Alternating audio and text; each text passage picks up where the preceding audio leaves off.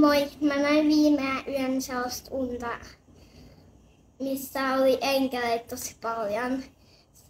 Yhdellä enkeleellä, yhdellä enkelillä oli kuusi siipeä varmaan ja yhdellä enkelillä oli kaksi siipeä ja yhdellä enkelillä oli kolme siipeä ja yhdellä enkelillä oli yksi siipi. Niin, tota, sitten siellä oli sellaisia salamaenkeleitäkin ja se oli ihan mielettömää ja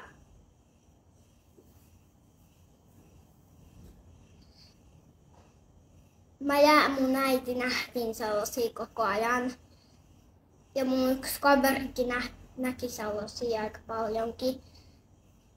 Mä näin suurimman osa sellaisia salamaenkeleitä. Niin nyt tuli mulle hirveästi viestejä, niin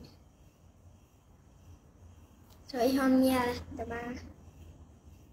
Sitten kaikki näki niitä. Ja se on ihan mielettömää.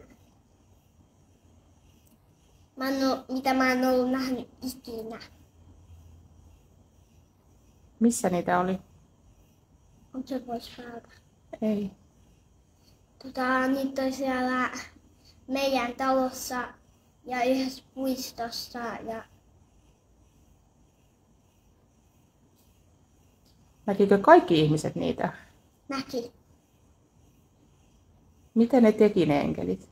Ne sanot, ne viestitti kaikille ihmisille, ketkä ei usko Jeesukseen, niin ne viestitti niille tota, tota viestejä, että, että Jeesus tulee kohta takaisin. Teidän, kann, teidän kannattaa uskoa Jeesukseen, niin, niin, niin sitten, että kuole. Ja sitten ne rupesivat uskoa. Wow.